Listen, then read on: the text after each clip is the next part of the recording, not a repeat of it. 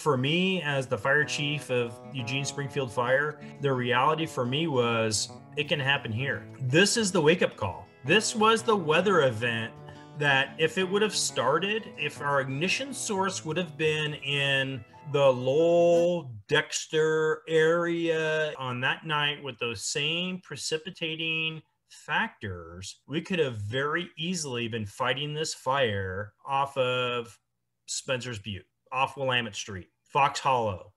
We could have very easily been into that area. The Holiday Farm fire could have blown into the Eugene Springfield metro area. After seeing what happened in Talent and Phoenix, we had a firsthand view of a wildfire in an urban setting and realized that we needed to start organizing in our community to prepare residents for the possibility of a wildfire burning in the metro area. This is Oregon on September of 2020 showing fires that burned on the west side of the Cascade Mountains. Had the easterly winds continued, major metropolitan uh, communities like Portland, Salem, Eugene, and Roseburg could have burned. We'll talk more about the east winds, but you can start to see that pattern here in the fire shapes in Oregon. A lot of them were in canyons that were aligned east to west, so they really picked up those east winds. The Diablo wind, the Santa Ana winds, they're known by many names coming from a lot of different mountain ranges, but it's all this same process of rapidly accelerating uh, downslope wind. And a lot of times uh, that comes from uh, dry continental air mass that's had a lot of sun baking it for a long time. In this case, these foehn winds picked up and took ongoing fires. Strong easterly winds increased the amount of oxygen supplied to the fire.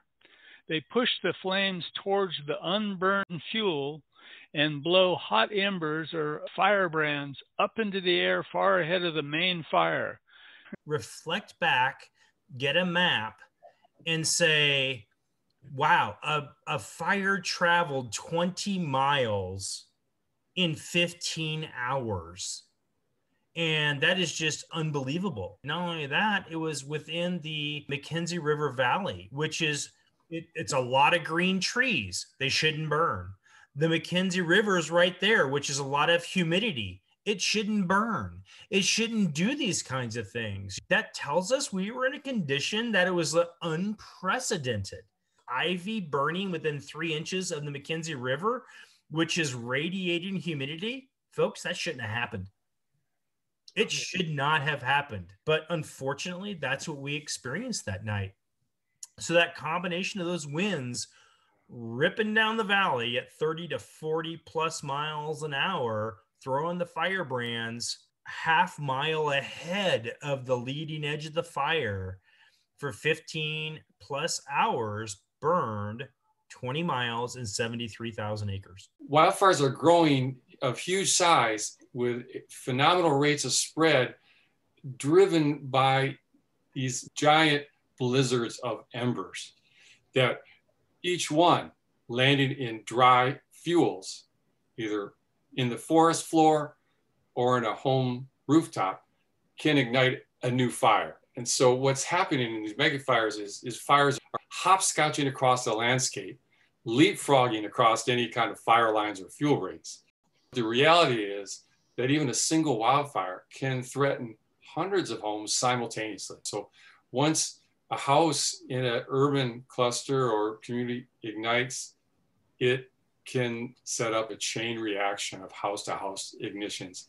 These become the urban conflagrations that result in tragedies, disasters, catastrophes. You will find me talking about using fire to manage fire. The whole idea here is to create community resilience and being mindful about what fire might do if it comes into your community, no matter whether you live in town or out in the South Hills. All these places are the same when it comes down to it, as we've seen from the Almeda fire. The Almeda fire started in Ashland as a small grass fire, which quickly spread and, and destroyed 2,800 homes and businesses in Talent and Phoenix. What set in was the memory of people dying in their cars in Paradise. That overtook us And uh, there was a kind of panic about that, that I do not want to die in my car in a fire. I was the manager of the park. It was the very first neighborhood to burn. So we saw the smoke coming. We got no alerts whatsoever. And I literally was out banging on doors leading the evacuation. I was the evacuation because I was the only person who knew where everybody lived and where the seniors lived and where the people with disabilities lived and where the veterans lived. And so I was out banging on doors. And then about 20 minutes into the evacuation, homes in the park were burning already. When we found out, we had six minutes to get out of our house. The flames were already in the park. We, we didn't hear anything on the news. There was no warning system. There was no nothing. We lost everything we owned. We walked out with the clothes on our backs. I had a flip flops, shorts, and a t shirt. My housemates and I evacuated after watching the fire grow closer for hours and unable to get reliable information on the situation. Getting into our cars, I could hear propane tanks exploding. Never got a notification. I logged onto Facebook, and that's how I found out this fire. When we drive to Phoenix, my five year old looks at where we used to live and she asks, Where's my home? That just breaks me to pieces knowing that my daughter has that memory engraved in her that the place she called home and she grew up and she learned how to take her first steps is no longer there. I moved here July 1st to be with my aging mother. She's 82. I'm 63. And we were combining our households when the fire struck and we lost everything. I'm sorry, this is still very emotional. I've been working hard. I've been doing all of the paperwork and the running and the running and the running for assistance anywhere we can find it for my mom. And I hit my wall a week ago. So I'm very emotional. I have to apologize. Who would ever think that we lose everything and to face starting over at our ages is very daunting and overwhelming. How do we help our residents, businesses, infrastructure, and everything else be prepared for wildfire and help our community recover when support is needed. It requires working to prepare our surrounding landscapes, our forests, and our rangelands for wildfire. It involves thinking about our homes and landscaping, which is going to re- require providing a lot of education outreach to the community to make that individual home work possible? And how is our landscape going to respond to fire? What's going to happen to our hill slopes and our watershed? Becoming a fire adapted community also requires thinking about evacuation. I was heavily involved over the years in my professional life in doing the post wildfire restoration work on large Southern California fires, mapping, GIS work, being able to look and analyze the landscape, the various impacts that can occur and how do we then utilize that knowledge to help the people in Eugene and the neighborhood associations develop their own uh, methods of one, controlling areas, cleaning up areas, but also in the event of another fire, what would be the evacuation routes that people would have to take to get out of the way? This is something that's been a sometimes difficult issue in past wildfires across the West and how do you evacuate out of an area when there's flames all around? Now, when you get uh, a fire in an urban area, you can actually get an urban conflagration when all that man-made material starts to burn, and those are tremendous high speeds. This was clocked at 140 some odd miles an hour, same as an F-class tornado. We can get these kinds of uh, large fire tornadoes developing over overdeveloped areas.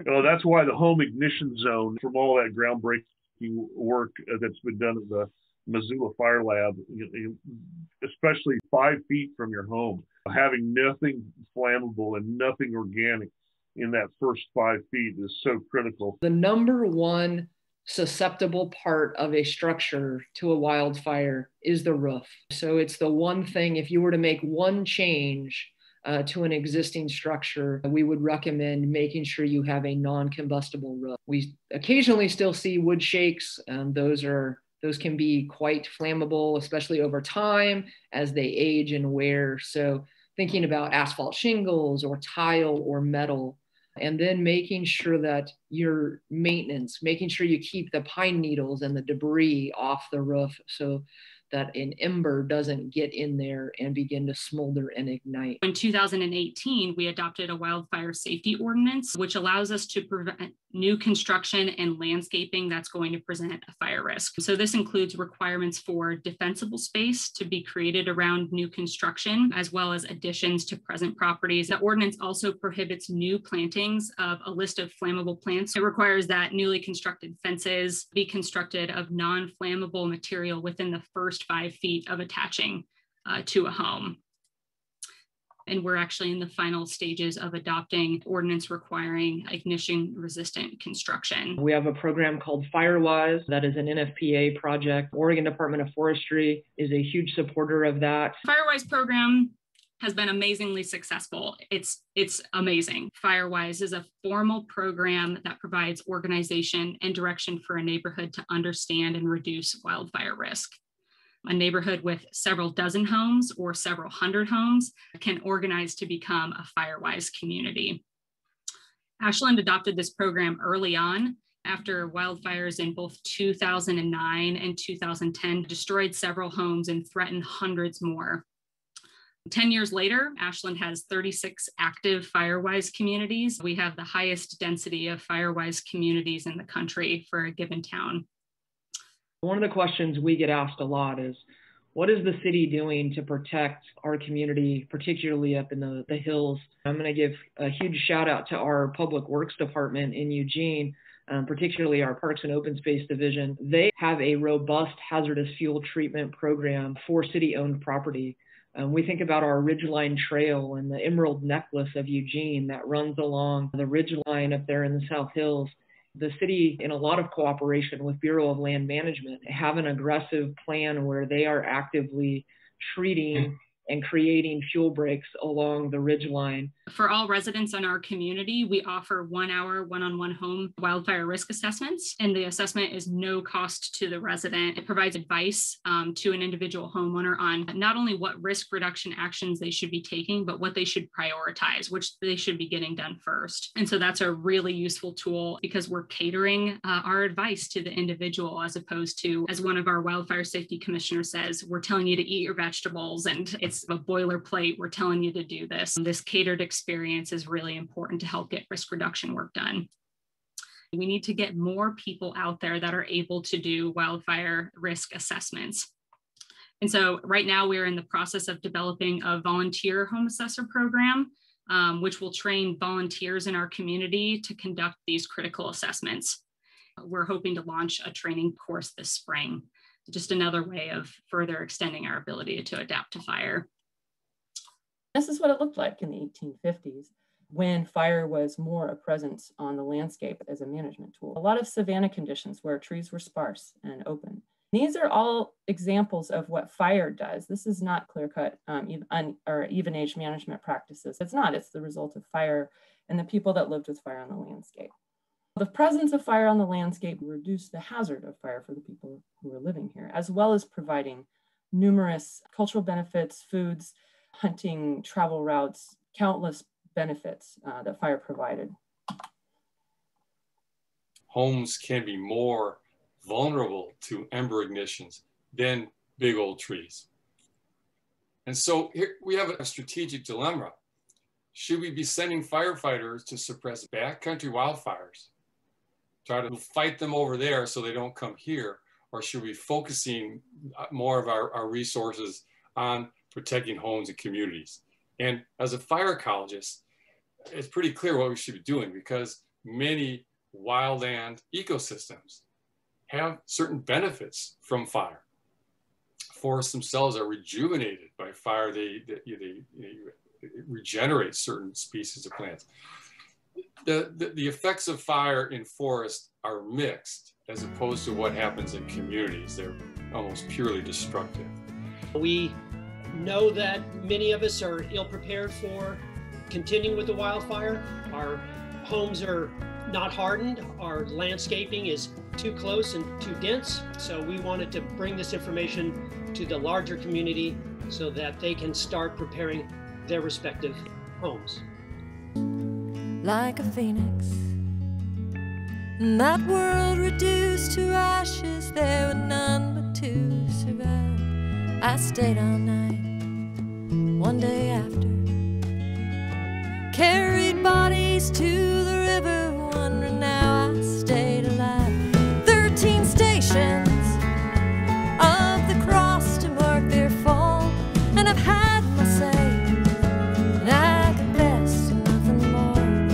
And I'll join them now, those that left me long before. Thirteen crosses high